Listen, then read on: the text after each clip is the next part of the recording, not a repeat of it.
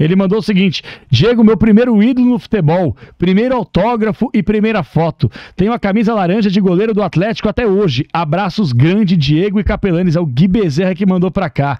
Realmente são essas coisas que ficam, que marcam, e eu não tenho dúvida alguma que talvez esse seja o principal troféu. A gente falava fora do ar aqui, Diegão, que na semana passada, o Paulo Baier, ele, em algum momento durante a live, ele. Nem sei se a palavra é certa falar. Ele chegou até a lamentar, pô, não ganhei alguma coisa que eu queria ganhar com o Atlético, um brasileiro, ou uma Copa do Brasil, etc e tal. Mas você vê o carinho no chat, todo mundo ídolo, maestro, nosso camisa 10. Aí a gente olha o nosso chat aqui, ó. Todo mundo Diego, monstro, esse representou, sou fã, identificação. Quer dizer, título maior que esse, eu não sei se tem, Diegão. Sabe, Capelanes, eu sou, eu sempre fui muito sincero. É, quando eu jogava no, no, Atlético, claro que era uma outra época, era uma época que, que a gente era dominado ali pelo Orkut, lembra da, das Opa. comunidades do Orkut, né? É. Eu até gosto de, eu gosto de brincar muito com isso. É, aquela época eu recebia cartas, nós jogadores recebíamos cartas, chegavam as cartas lá no clube, sabe? Então era uma, uma época completamente diferente. E eu sempre fui muito sincero quando eu dava uma, uma entrevista e eu falava realmente aquilo que, que eu estava sentindo, sem, sem, sem fazer média. Eu, quando eu, eu falava do torcedor, é porque eu respeitava o torcedor do Atlético e respeito muito o torcedor do Atlético. Eu sei o esforço que o torcedor faz para ir no, no, no, estádio. E a minha primeira entrevista que eu dei quando eu cheguei no Atlético Paranaense, na sala do, do, do Caju, lá no, no, no CT do Caju, numa sala que tinha uma estátua é, magnífica do talvez do maior ídolo da história do, do, do clube e goleiro. E, e, aquilo ali me inspirou. E eu disse naquele momento que eu queria sim me tornar um ídolo do clube. Só que um ídolo só se torna quando ganha títulos. E é dessa maneira. E eu reconheço isso. Eu sei que eu não virei um ídolo porque eu não tive essas conquistas.